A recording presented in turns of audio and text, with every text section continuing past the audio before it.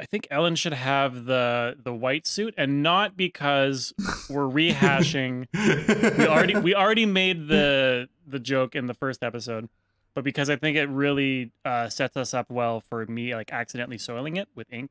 in terms of That's fair. That that's that's a good bit. That's a very good bit. All right. So, um upon looking at the glass cases, they begin to vibrate and large cracks appear in the glass. And the suits burst out of there. And despite looking humanoid when they first appeared in the glass case, they appear to reform themselves to fit over your freakish non-humanoid bodies. So I mine looks like one of those- just got like barnacle lumps all over. There's like a piece of kelp just poking Just, through like, like, a seam. yeah. Yeah. yeah, The fucking neck seam or it's something got like, like, that. a boob window, but it's just like barnacles and kelp. But yeah, kelp spurting out of it. You're just like showing off your barnacle cleavage, like yeah, yeah, yeah. fuck.